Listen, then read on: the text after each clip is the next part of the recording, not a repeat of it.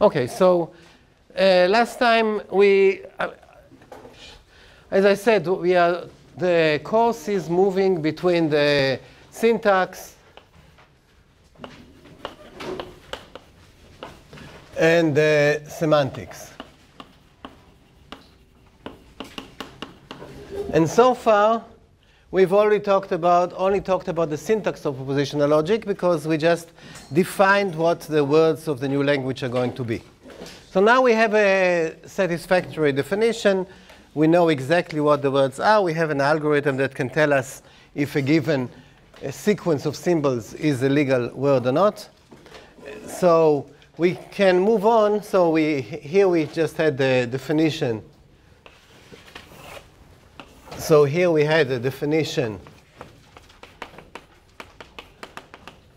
of the language.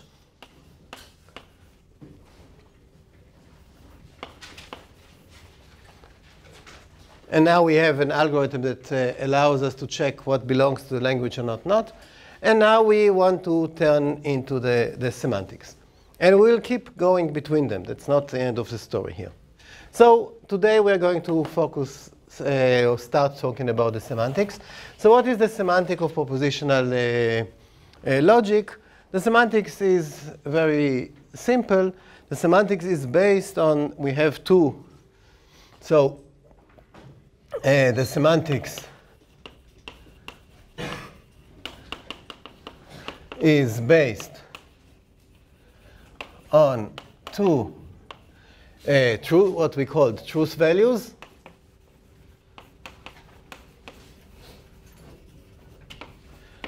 Uh, true and false.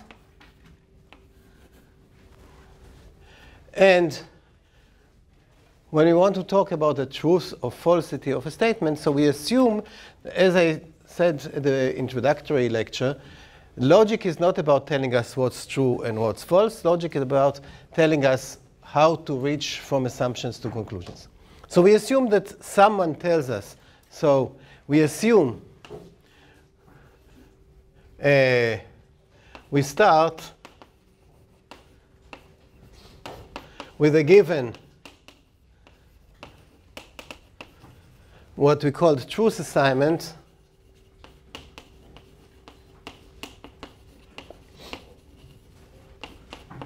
to uh, propositional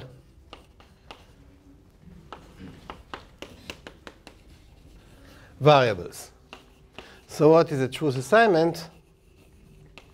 So we start with a truth assignment. We have the notion of truth values. What is a truth assignment? A truth assignment is a function that goes, let's call it V. It's a function that goes from some set S to true false where S is a set of propositional variables. So we, someone is telling us, say, for example, S tells us that here is a way to describe S. So I have some uh, variables, uh, P1, P2, P7, and the assignment S tells me, uh, S tells me that P1 should be true, and P2 should be false, and P7 should be false. That's a truth assignment, yes? Should that not be then a mapping from S to multiple true falses, not to a single? That notation up there is sort of odd. You were like, yeah, but it maps from that notation up there does not mean it from a set to a single true false? Well, the, no, the notation, we, we always have a notation. I have a function from a set A to a set B. Oh, yeah. Means that for every element of A, it assigns an element of B. Okay. So it's the same here. For every element, for every propositional variable, it assigns a value. Okay, so S is uh, this V, sorry, this V is just a function can, let's write it here. It's a function that assigns a truth value to every propositional variables in our set S. Now to what is the semantics of the propositional uh, logic? The semantics is actually an extension. So we define how to extend such an assignment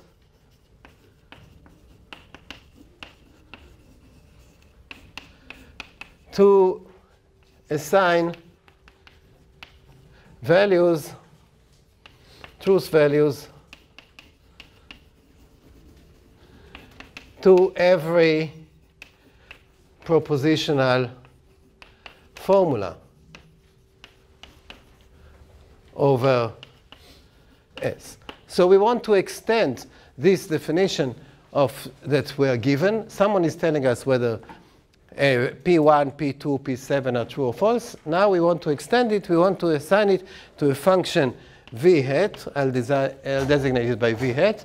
And now v hat is a function that goes from all propositional formulas. So the set of all uh, propositional formulas over S that use the variable S to true false. So how shall we define this extension? It's very natural. So for example, if V of uh, P1 is T, V, we want V hat of the negation of P1 to be false. Or we want to define V hat of any propositional formula. So I, I have here any alpha. I want to define what is going to be V hat of alpha. That's what we want to define. And we do it by uh, what we call the truth tables. So we have, we define the extension by uh, four fixed truth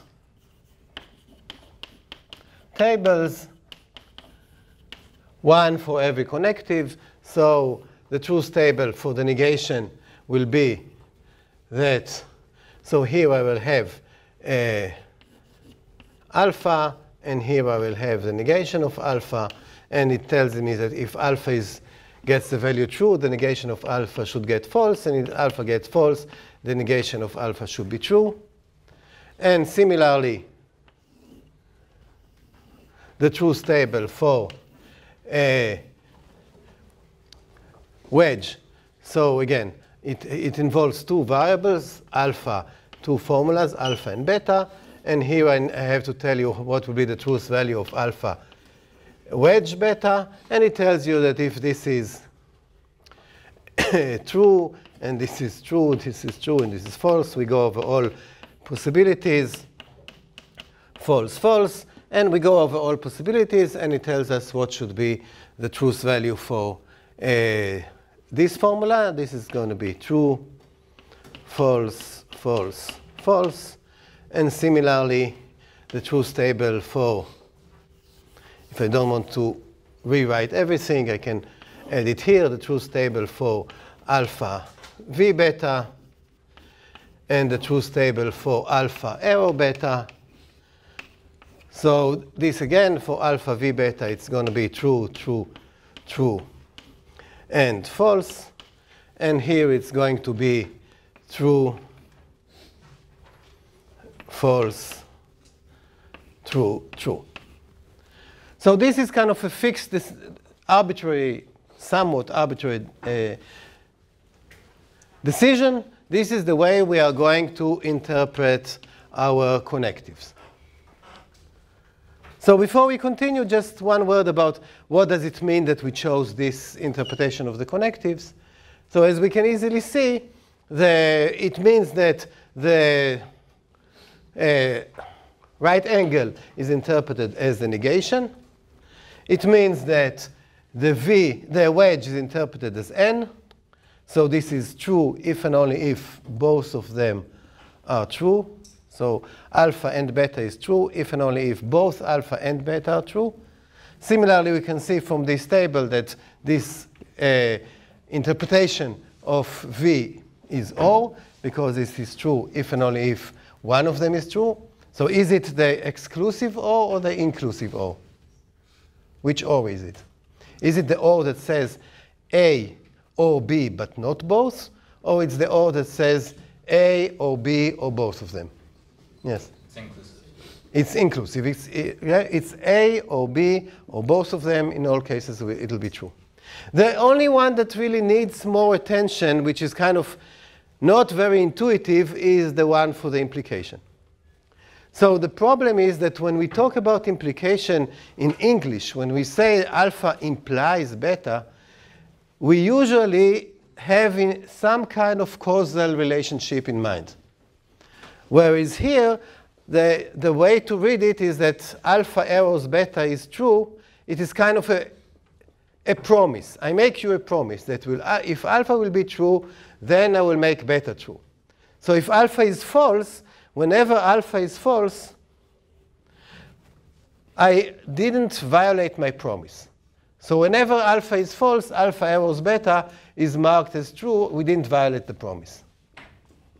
So this is very, we have to kind of be uh, cautious about it. This is different than the English notion of implies. It's not implies, I, will call it arrow, and it means that if it's a promise, if alpha is true, then beta is true. If alpha is false, then this is going to be true. So if, if I want, say, P to stand for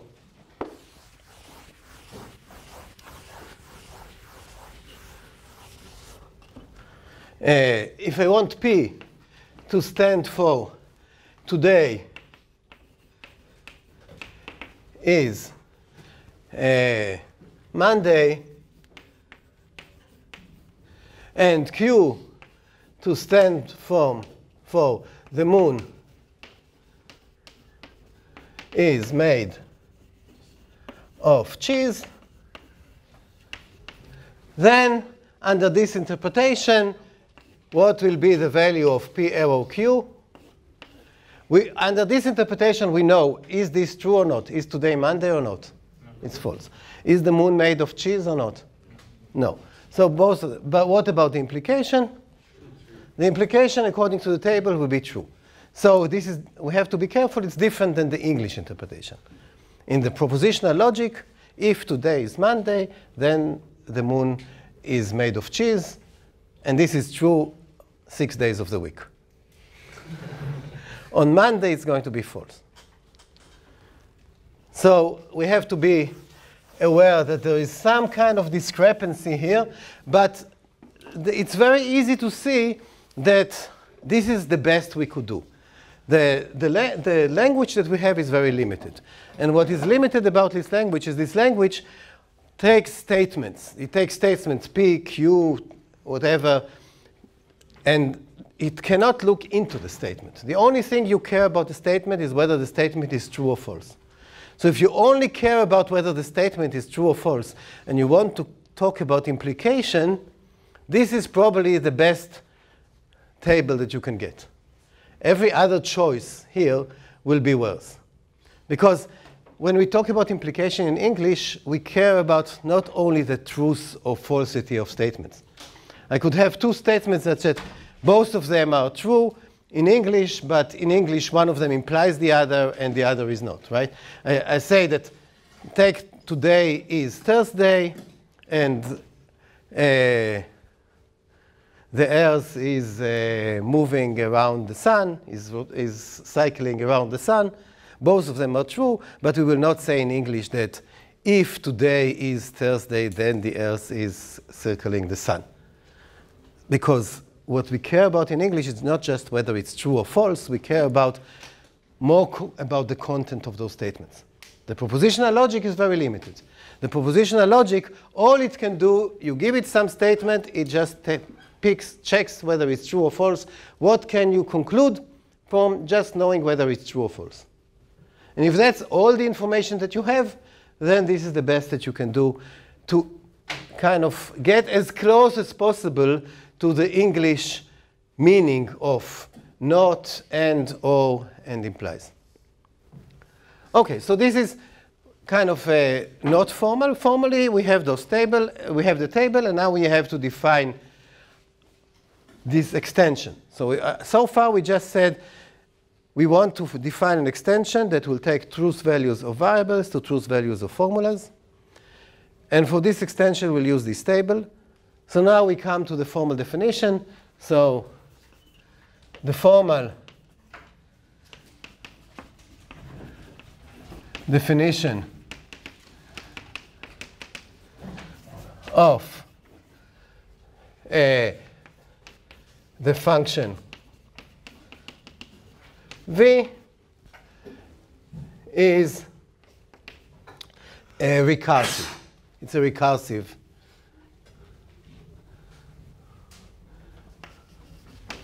A recursive definition. It goes like this. So the first step is that, so we are given v, we want to define the extension v hat. So we say that v hat, case one, if alpha is a propositional variable, then v, v hat of alpha equals v of alpha. Right? And then we define for each of those connectives if alpha equals neg beta, then v alpha equals false if v hat beta is true, and true if v hat beta is false. And uh, so we define each of those cases. So if alpha equals uh, beta or gamma, then uh, v hat of alpha equals true unless both uh, v hat of beta equals f and v hat of gamma equals f. Right? And similarly, we can define for and and for implies. So we need two more cases. Case 4, alpha equals beta and gamma. And case 5, alpha equals beta arrows gamma. So this concludes, I mean, I, I don't write it down. It, it's all, all the information is in the table. Yes? Um, you switched up alpha and beta into, Oh, I switched. What did I switch? like you use both alpha and beta. In No. two. No. Oh, wait. No. I always, the new one is always alpha, and now I look at how is alpha composed. And beta and gamma are the components that made alpha. Okay? So in all of those cases, I want to tell you what is going to be v hat of alpha. And I'm checking what is the structure of alpha. So I'm saying either alpha is a propositional variable, or alpha is some negation of beta, or alpha is some beta v gamma, or it's some beta wedge gamma, or it's some beta arrow gamma.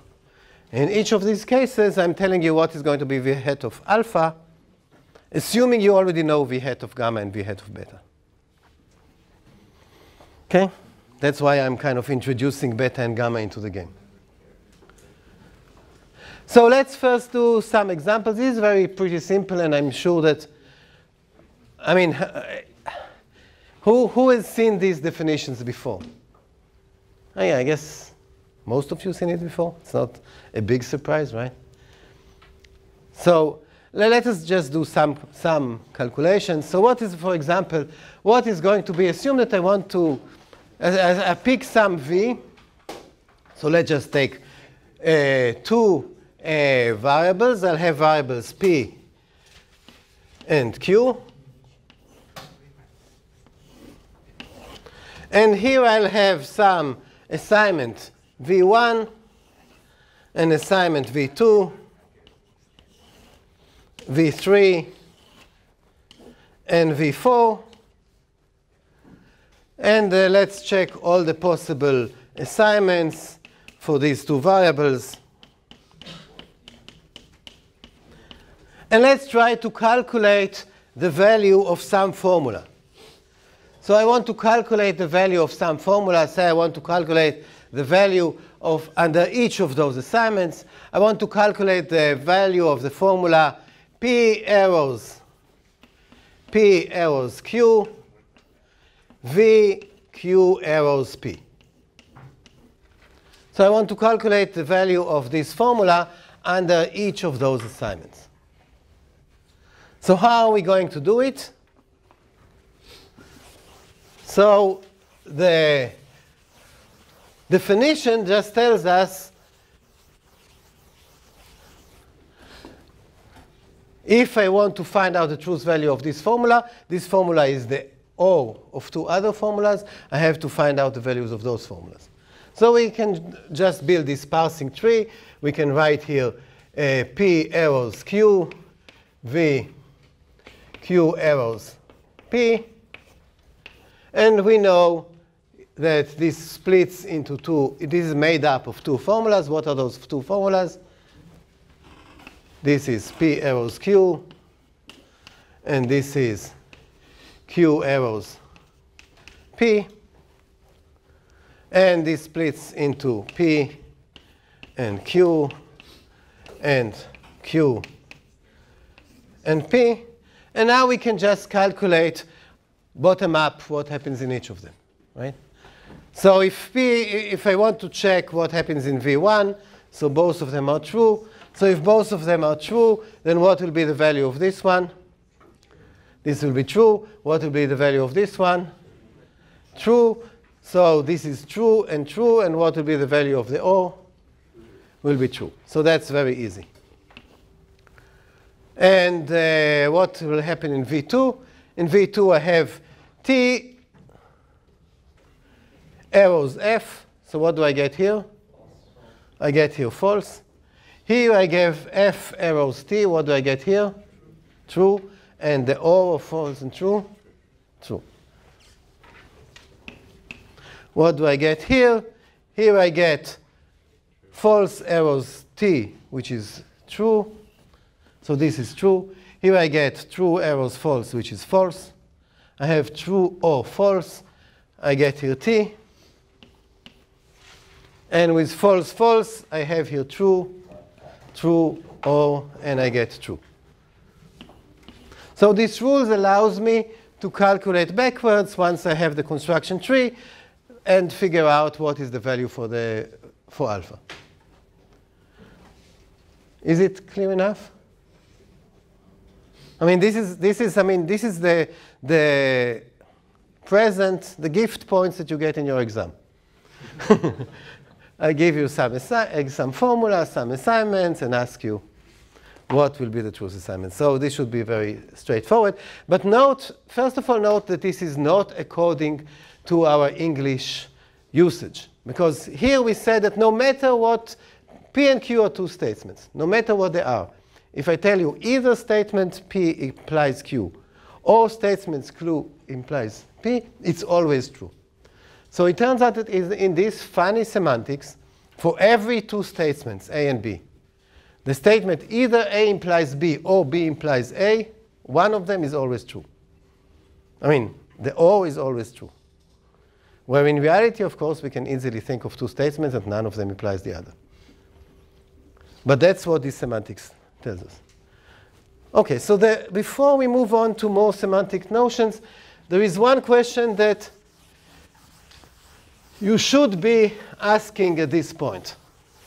If you are a skeptic as I wish you are, and don't buy anything that the professor tells you, what, what should worry us at this point? Yes? It's not clear this is well defined. Yeah, it's not clear, very good. It's not clear that this is well defined. Is it really well defined? So what do I mean by is it really well defined? I tell you that if alpha is this, then go back and, and check the values of beta and gamma. If alpha is this, but maybe, maybe it's not a clearly defined rule. If you have, if you have in the, you look at the, I don't know where it's written, what are the rules that you need in order to finish your degree? And it, they tell you that you need to take uh, CS, uh, I don't know what, 245 or CS 360 and uh, CS 241. And now are, I mean, okay, so this is my alpha. But the question is, is this beta and gamma? Or is it this beta or gamma? There are two different ways to take this sentence in the syllabus and try to interpret it. And each of them can give rise to a different calculation of the value of alpha. Right? You can think of a situation where one of them will be true and the other will be false. So that's exactly the well-definedness, the question that, that you picked, right? That it's important to know how are we guaranteed that this is well-defined. So we want to avoid such ambiguities, and that, that's a very important issue. So we want to ask ourselves, why is it well defined? And for that, we need kind of a, another syntactic result. So we are defining the semantics, but it is based on our uh, clear definition of the syntax. Uh, of the syntax. Okay, so here is a lemma. For every uh, well-formed formula alpha, exactly one and only one of the following uh, options or statements hold.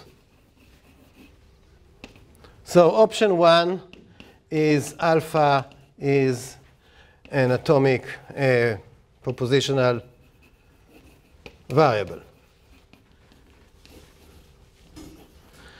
Statement two, alpha equals neg beta for some well-formed formula beta.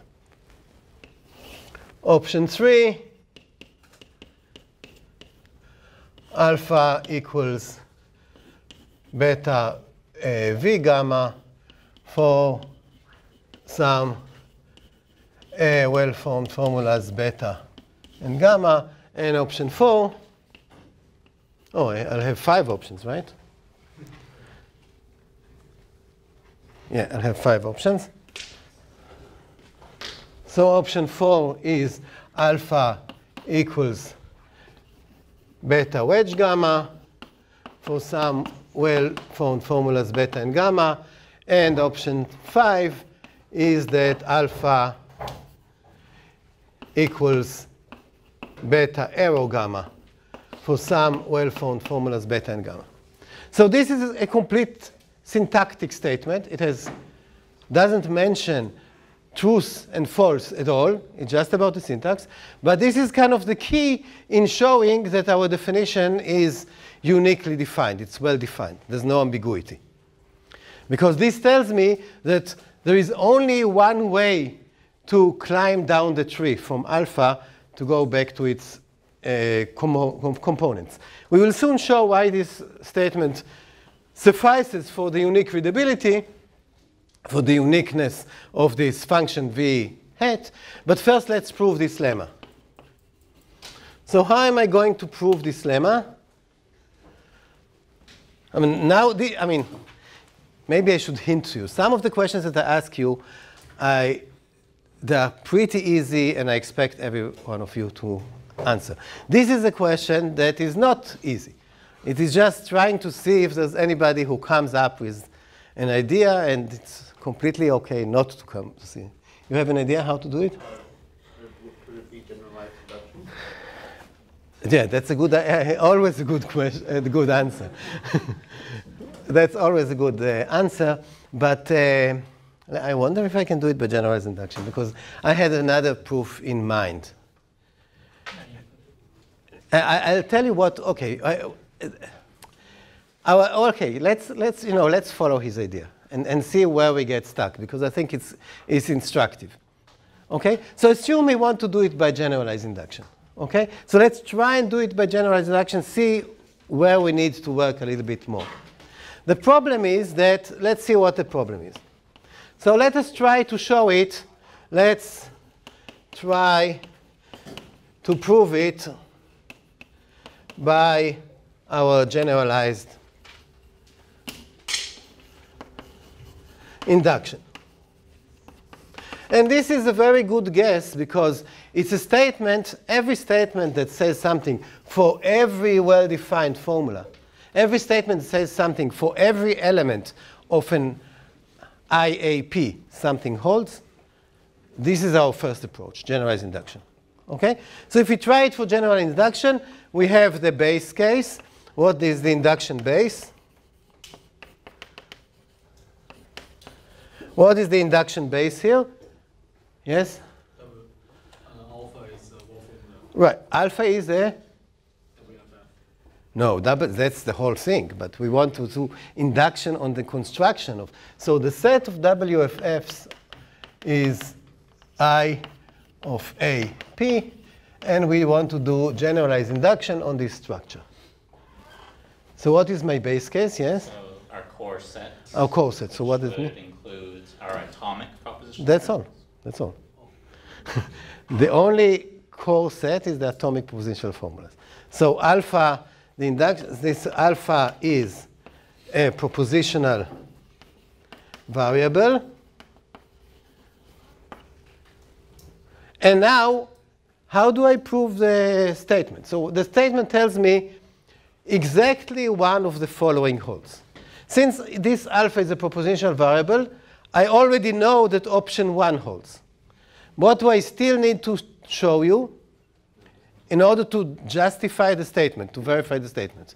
Yes? That doesn't hold for the rest of it doesn't, none of the other statements hold. So clearly, clearly, statement.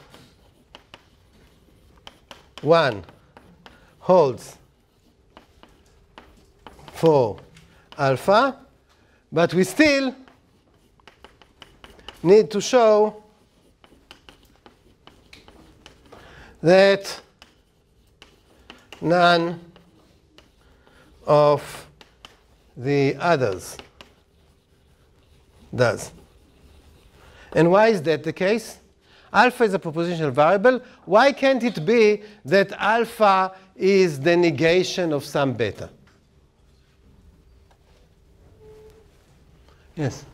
By definition, every propositional variable is a character and maybe a, an index. So why can't it be? Because a parenthesis is not a valid character.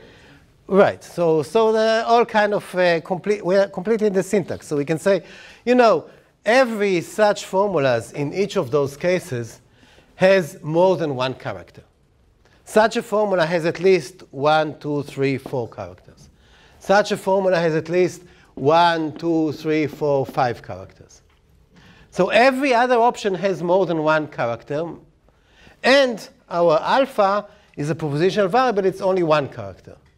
So therefore, it cannot be any of the other statements, just by counting characters or by saying each, as you were saying. Every other one starts with a left bracket, and a proposition variable doesn't have a bracket. So from completely syntactic reasons, we know that none of the other cases hold. OK, so we overcame the, the base case. Now let's do the induction step. So I, I think uh, your idea will work of generalized induction. Now, now I'm getting convinced that this is also a good proof. That's not what I initially had in mind. Okay, so now the induction step.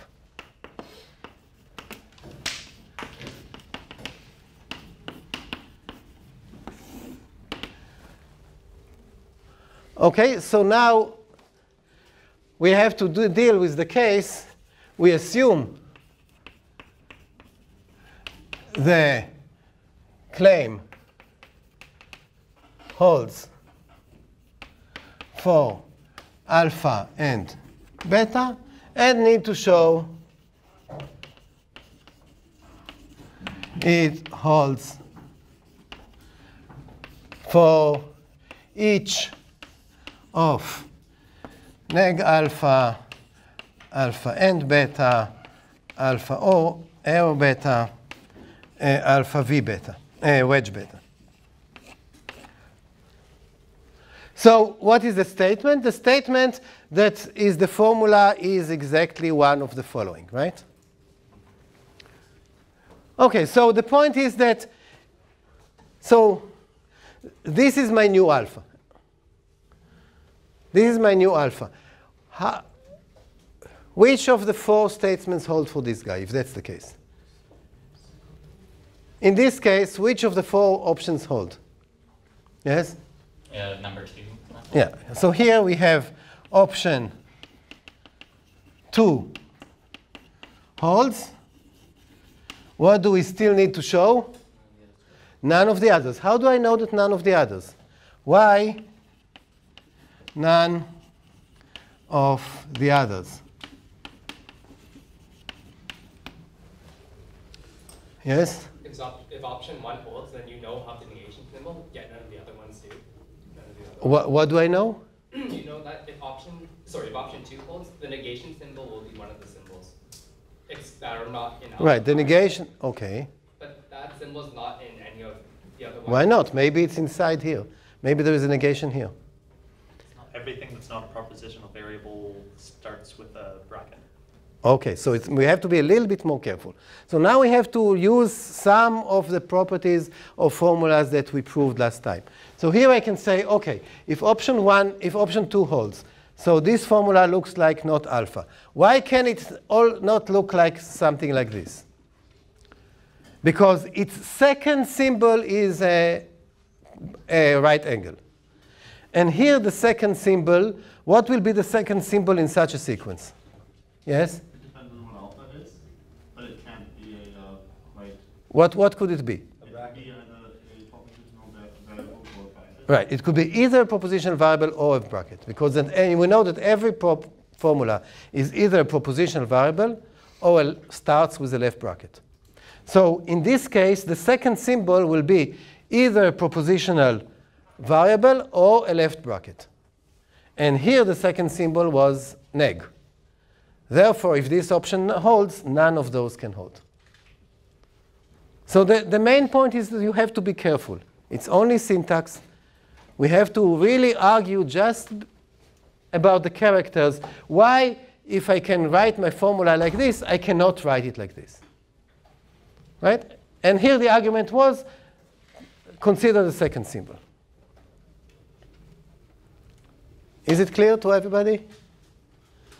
So wh- what will happen here? Here we will know that option option 3 holds, but why none uh, of the others? This is even more delicate. Why, if I can write my formula like this, I cannot write it as a combination like this? Yes? You can consider the symbol after uh, the number of left brackets is once again once more than the number of right brackets. Right. So now we need to, very good. Now we need to use our property. Remember, we had this property that the number of left brackets is always more than the right brackets whenever we are inside the formula. And they get even only when we end the formula. So we know that this place here is the first place in this formula where the number of left brackets is only one more than right brackets. Because it's the first place that after I erase the, this guy, I get equality. So it's the first place where the number of left brackets is just one more than right brackets, is here. So in this first place, the next symbol uh, is V. If I also had this decomposition of my formula, then in the first place where the number of left brackets is only one more than one bracket, the next symbol will be different. So the, the point is that we cannot run into this situation where I have A, O, B, and C, and I don't know what is, where, how to parse it. Where is the main split? Because we know where is the main split. The main split is when we get the number of left brackets, just one more than right brackets. So it's, it is well defined. The next split, I, I look at my sequence. This is a sequence of symbols. I check when is it the first place that ignoring the first bracket I get equality, and what is the next symbol. Since this place is well defined, the next symbol is next defined, so if it's this guy, it cannot be any of the others. Yes? Um, would we have to put some sort of condition in there for to make sure that that symbol isn't a propositional va variable, because propositional variables don't have uh, brackets. So the first place there will be an equal number after that first one should be what? Oh, I say if this guy is a propositional variable, then the first place that I'll have equality, the first proper initial segment will be just P. And I'll have equality because 0 equals 0. I, I look at the first place, which is, I erase this, and I look at the first proper initial segments in which I have equality. And if this is just P, it will be here. This will be the first place because I'll have 0 left, 0 right, it'll be equality. Okay? So we have to argue here it's not that you need to remember those arguments by heart, but it, you have to kind of understand why do we need them? How do we work? Okay? We need to be very formal. Although intuitively we know that this is what we want, the formalism is what I did now. And the, this formalism actually tells us we spread around enough brackets to have a unique interpretation for every formula. That's exactly what we're proving here. In our definition of uh, propositional logic, we scattered around so many brackets that now there is no ambiguity. Now every formula, there's only one way to unfold it into its components. Because there are so many brackets that we have this nice property that every proper initial segments have more left than right, and the minute you finish reading a formula, it becomes equal. Okay? So now we have this unique readability. We know that every formula has a well-defined set of parents. It's not that you don't know who is my dad because, you know, I, I just don't know. Here you, you know. Yes? You said you had another way to prove this, Donald? Yeah, yeah.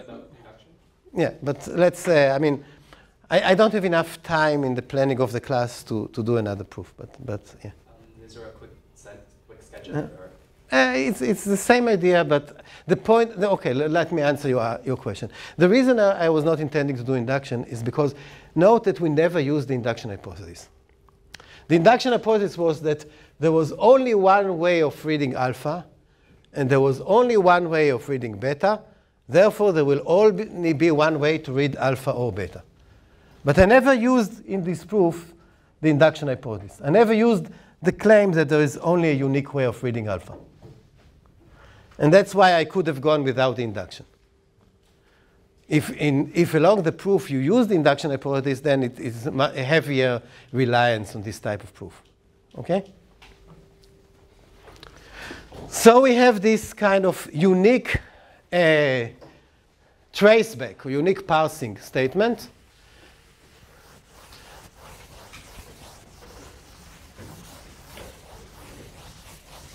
And now I can actually prove what I really wanted to prove. This was just a technical lemma. And completely, notice that this was complete syntax. There was no meaning here. There was no true, there was no false. It was complete claim, claim completely within the realm of syntax. But we need it in order to prove a claim that we want about the semantics. What is the claim we want about the semantics? That this v hat is uniquely defined. So the claim about the semantics that we want is the, this is the claim, the uniqueness of the uh, extension v hat, and it says the following, that for every truth assignment.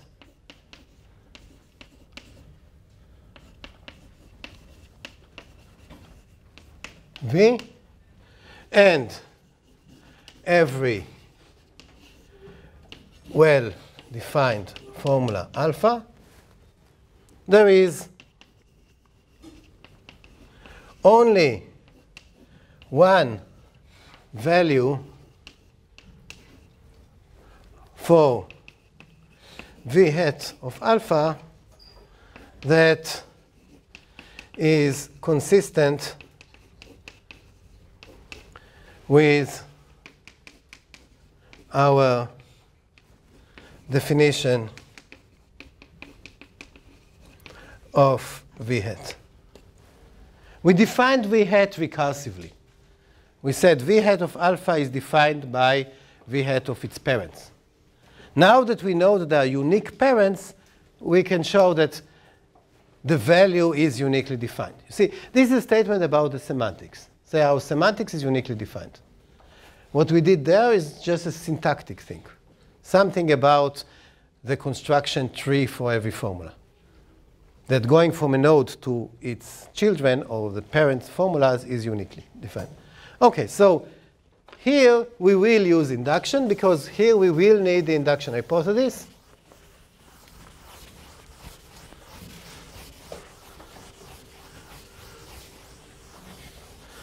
So here I, I almost tempted to leave it for you. I mean, I, the problem is that I don't know you still at this point well enough to know what is just too much saying obvious things or what really needs explanation. So here the, the proof is this time really essentially by generalized induction. So let me be quick about it. So we have, whenever we do generalized induction, we have a base case a step, and we have the induction step. The base step is alpha is some propositional variable, and we defined, in this case, v hat of alpha to be v of alpha, so it is uniquely defined. So uniquely, so it is unique. And then we have the induction step.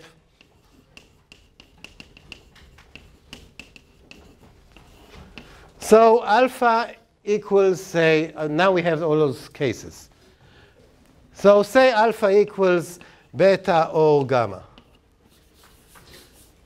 Now the definition of V hat told me how to calculate V alpha from V beta and V gamma, right? But in order to know that there's only one way to define V hat of alpha, now we need to use this lemma.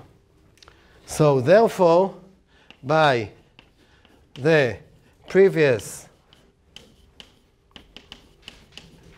lemma, there is no other way to parse alpha. That was one and only one of the following options also that we had here. And now, why does it tell it? Why does it tell me that v hat of alpha is unique?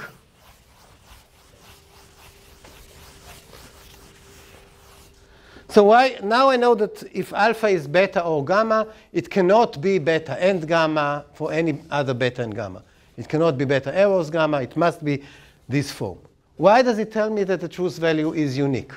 Now I want to look at v hat of alpha, and I know that this is defined by this table, right? It is uh, true unless both v hat of beta is f and v hat of gamma is f. Yes? Um, does the lemma tell us that um, alpha is exactly beta or Right. gamma, or does it tell us that alpha is beta prime or gamma prime? So maybe beta. Oh, that's a very good point. Yeah, the lemma, right. Yeah, I mean, I, I should have edited the lemma. Very good point. I mean, uh, send me an email for a bonus. It's a very good point.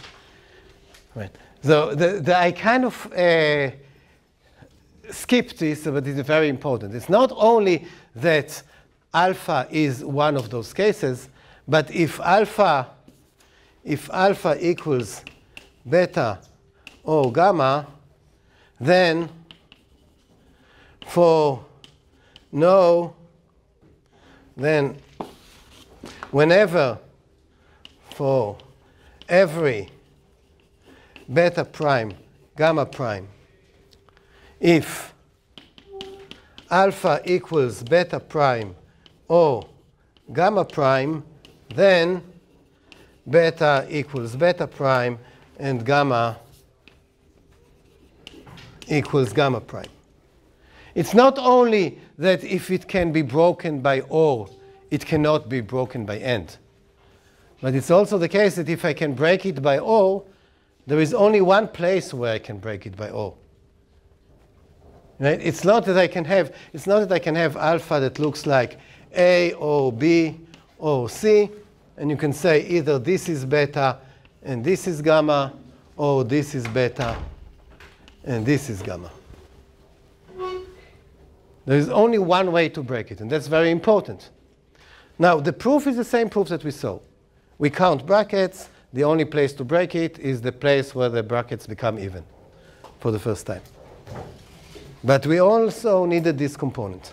So this is an important addition to the previous lemma that I missed. Very important. Okay, so now why does it give me uniqueness of the extension v hat? So if alpha is beta or gamma, I can calculate by this rule. Why does it say that the outcome can only be one value? Why can't there be an ambiguity here? Anybody, any new voice? It's not completely new voice. Uh, okay, yeah. By the induction the induction hypothesis. Here I have to invoke the induction hypothesis. By the induction hypothesis, this value is uniquely defined, and this value is uniquely defined. Therefore, this whole definition is unique. So now, invoke the induction hypothesis to get uniqueness of v hat of beta and v hat of gamma. Yes? On the bottom line, shouldn't it be beta prime equals beta? That's the Rather common, than- the common from previous one. No, thi- this part, that's the extension of the previous lemma. What, what? He meant the, uh, see the comma between beta prime and gamma prime? He thought that was a, a prime on the below, below. No, no, no. It is a comma. It's beta prime and gamma prime. This is not a prime. Okay. This, yeah, it reminds me that I was, I was once, uh, when I was a TA, I was guarding, uh, you know, proctoring an exam. A- anyway, the students go to the washroom. Of course, you cannot prevent them from going to the washroom. And it was an exam in, in linear algebra. Do any of you already took linear algebra? So, you know, in linear algebra, you, you, you solve some equations. And in his solution, he had something like Uh, 3 times x minus 2y to the power 248 plus 5z. And that was, I was completely, I mean, how come in linear algebra you get power 248? so anybody knows what the solution was? It's related to your question. The, yeah, in the, in the book, the page number when they had this exercise was 248. and he, he had the book in the washroom, probably, and he was copying very fast, so he copied the 248 as well.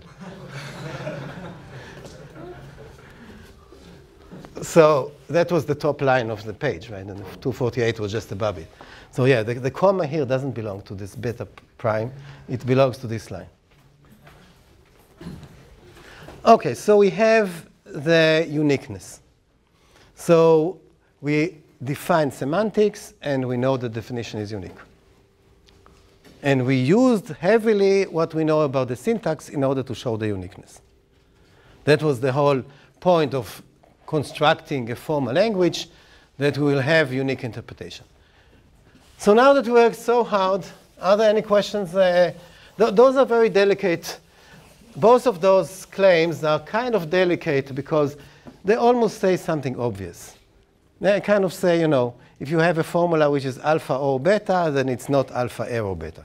Sure, I just told you it's alpha or beta. How can it be alpha arrow beta, right? But it, there is something to prove there. And so it's very delicate, both of them, and same the uniqueness for the interpretation. So I really hope that you go over it, think about it. If you have any unclarities, email me, send a post something to Piazza, or come to an office hour. Okay?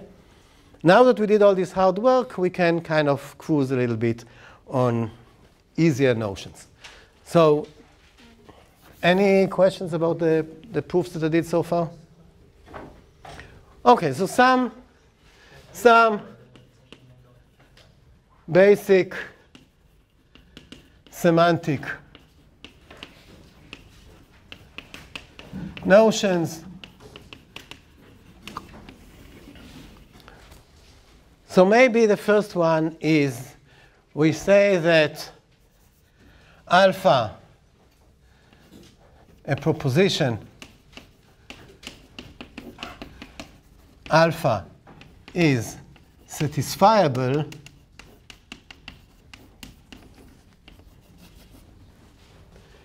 if there exists some truth assignment.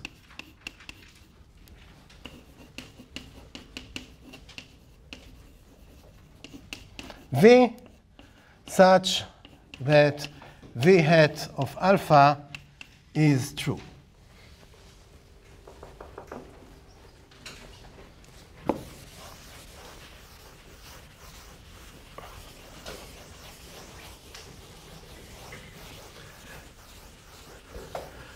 So let me give you a formula and ask you if it's uh, satisfiable or not.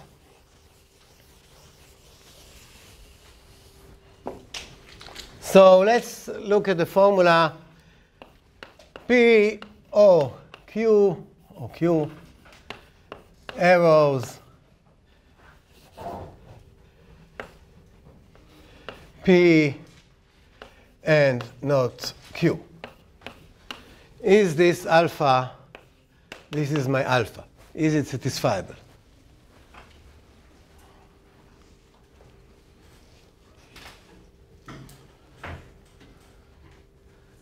So how do we how are we going to check if it's satisfiable?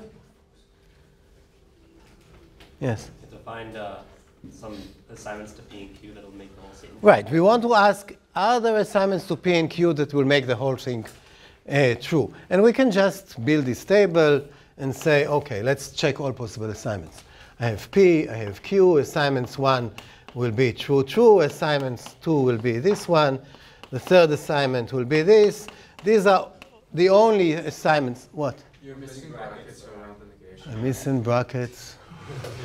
I'm missing brackets around the negation. That's an easy point. Yeah. okay. Yeah. But yeah, I, that's another comment I should make. I mean, from now on, I will be very loose with brackets. I mean, we know that we can do it correctly, and now that we can do it correctly, we will do it incorrectly. I mean, it's like, I don't know, I mean, I don't know how, how much you know about painters like Picasso, right? So he, he paints women that look like something like that, but you can see that at the beginning he first showed that he could really paint nicely whatever you want and does it out of choice and not out of uh, impotence. Okay, so these are all the possible uh, options for P and Q, and now we can check what has happened to P or Q, and we can check what has happened to not Q, and we can check what has happened to P and not Q. And now we can calculate for all possibilities what will happen to alpha. So in this case, this will be true, this will be false, this will be false. So what will happen to alpha? Alpha will be false. And I can just check them one by one. So anybody found the assignment that will make it true? Yes? False, false. False, false, let's see. False, false, then this will be false. And this will be true. And this guy will be false. And how I have false arrows false, it'll be true. Right. So there is an assignment that makes it true. So that's the most basic notion, a satisfiable assignment. Can you give me a satisfiable formula? Can you give me an example of a formula which is not satisfiable? Yes? I, I think I may be wrong. I want to say P implies not P, but probably was. The, which one? I want to say P implies not P, Oh, wait. What happens with P implies not P? Is it satisfiable or not? Yes, false. Yeah, it is satisfiable if P is false, because if P is false, it implies everything. Uh, yes, yes, what do you want? Uh, P and not P. P and not P, right. So this is satisfiable, but P and not P is not satisfiable. Because if this is true, then this is false, and, and the whole thing is false. If this is false, then this is true, and the whole thing is false. Okay? So this is completely trivial. I mean, this should be another kind of bonus question in the exam. But this trivial thing, amazingly, uh, involves the most important open problem in, in computer science. And if you solve it, if you know how to do it, there is a million dollar waiting for you. I mean, so here is how you're going to make a million dollar. so the problem, I mean, so the problem is, what I want to ask is how difficult, how difficult is it to figure out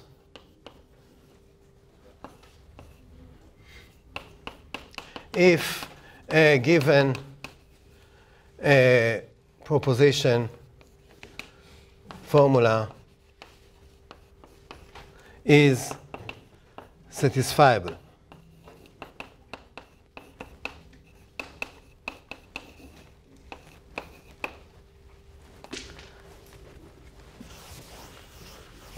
And what do I mean by how, how difficult is it?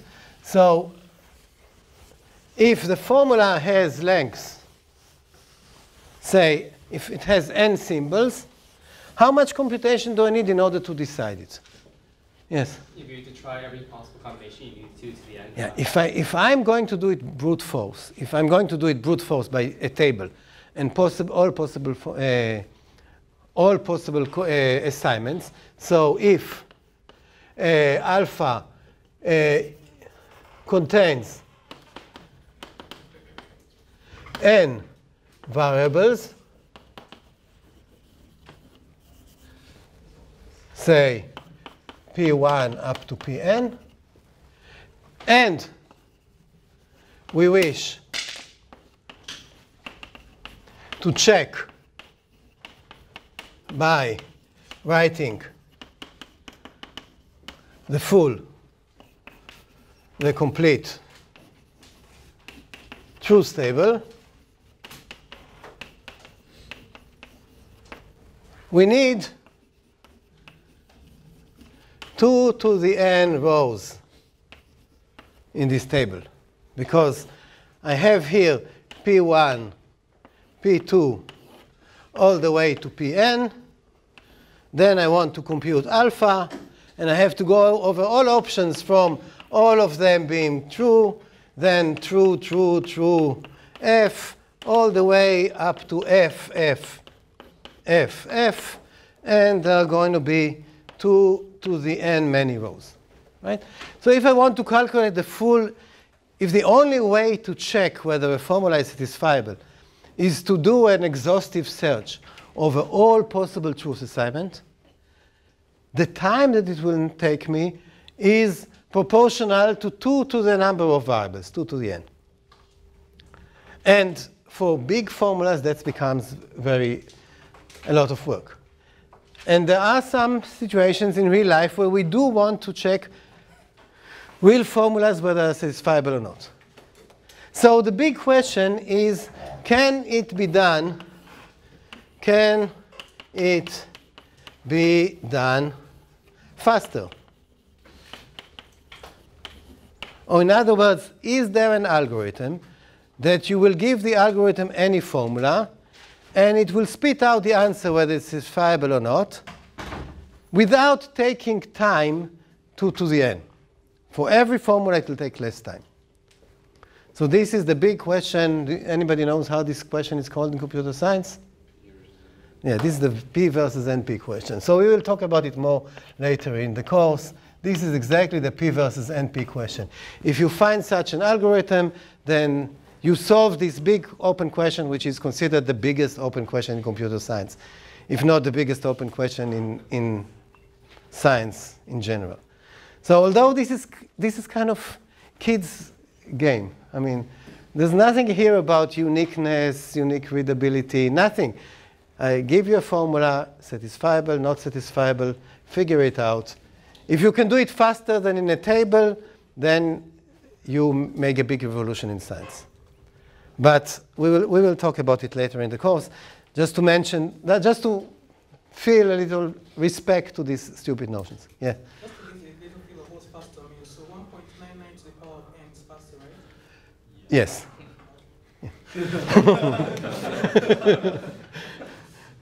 I mean, you have the whole weekend to figure it out.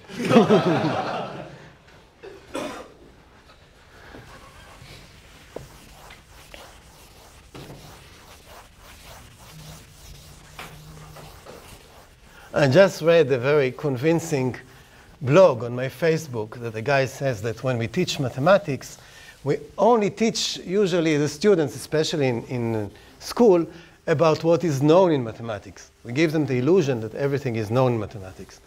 And he advocates that whatever topic you mention, also mention the things which are unknown. Because there are so many things that we don't know in mathematics. So I'm following his advice. And I'm saying SAT is very simple. Here is something that we don't know. Okay, so let's, let's move on to some other uh, semantic notions. So the first, so we talked about basic semantic notions. By the way, if you are, if we already mentioned it, the, the guy is called Lior Pachter and he's a professor at Berkeley, I think, and if you go to his webpage, you can find this list for every topic of mathematics in school from grade 1 to grade 12. He gives an example of a problem that is, we don't know the answer, that involves the notions that you learn in this grade in, in school. So it, it's really fun to read. Anyway, other basic semantic notions. So we talked about satisfiability. So the first one was alpha is satisfiable. And we have an algorithm of how to do it. We draw the table. The thing is we don't know if it can be done faster. The second important one is alpha is a tautology. And by alpha is a tautology, I mean that it means that for every this means that for every truth assignment to the variables of alpha, wherever it was assignment v to the variables of alpha, v hat of alpha will be true. So alpha is a tautology if no matter how you assign the variables, it is going to be true. So we've already seen one such tautology. So examples are, so who, who can give me the, what's the simplest example of a tautology? Of a formula that no matter what you do, it will be true. Yes? Uh, A or not A? Right. So if I do alpha being A or not A, it's easy to see that no matter what assignment we give to A, it's going to be true. Another one that we've already discussed is alpha being uh, P arrows Q or Q arrows P. This one is an unexpected tautology. And again, how do, how do I check that something is a tautology? If I want to kind of make sure that it's a tautology, what do I do? I just do it for the full, full truth table. But we have faster ways of checking that things are tautologies. So let me give you another example of a tautology and show you how I can check in a faster way than doing the whole table that it's a tautology. So let alpha be um, not A arrows not B arrows B arrows A. I guess that's now one, two, three, four, three, four, four, five. Three, two. Huh? Three, two. Okay, I okay. Three, two, three.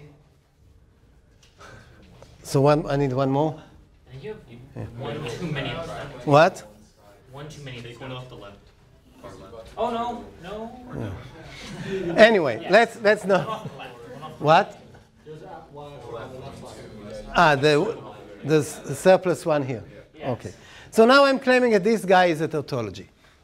So how do I check it without going to the truth table? What I'm saying is whenever I have a formula that breaks by an arrow, I know that the only way an arrow will not come out uh, true is when, when will an arrow compute to false? There's only one case where an arrow compute to false. Yeah, so the only way it would, if this is false, then this must be true and this must be false. And again, if I have an arrow with a false, I know that the only way that this will be false is if B is true and A is false. That's the only way that this will be false. And so that's the only way that the whole thing will be false. But if A is true and, and B is false, what do I get here? A is true, so this is false. What did I do? Did I do anything wrong? Yeah, that's false, and B, and B is going to be Yeah, B is going to be false. Oh, A is going to be true, and B, and this is going to be true, and this is going to be false, and therefore the whole thing is going to be false, and I will not be in this case. So the argument was assume that the whole thing is false. Since it breaks by an arrow, then I know that it must be the case that the head is true and the tail is false. Then I can repeat this argument here. So I get to the conclusion that the only way the whole thing will be false is if B is true and A is false. But in this specific assignment, B is true and A is false, this becomes false, so the whole thing is true. So for formulas that just consist of just arrows, we can do a faster check. But the big question is whether we have an algorithm that does a faster check regardless of the structure of the formula. Okay, so these are tautologies. Some tautologies are, are very intuitive. Some tautologies are less intuitive. Uh, some tautologies are, I, I, think the most, the one I like most is the, the tautology that has really practical tautology. Oh, not yet. Let me, let me keep this joke for for an, an, an, a different, uh, a later step in the course. Okay. Another other very important tautologies are the kind of the, the what we call the De Morgan laws. I'm sure that you saw them. De Morgan rules. And these are saying that uh, not for every alpha and beta, uh, gamma, the following are tautologies. And we have things like that the negation of uh, alpha and beta implies uh, the negation of alpha or the negation of beta, and vice versa. So this is, this is one of them. And similarly, the negation of alpha or beta in both directions are tautologies is the same as the negation of alpha and the negation of beta. So those are De Morgan laws. I don't need gamma. So these are also very kind of useful or commonly occurring tautologies.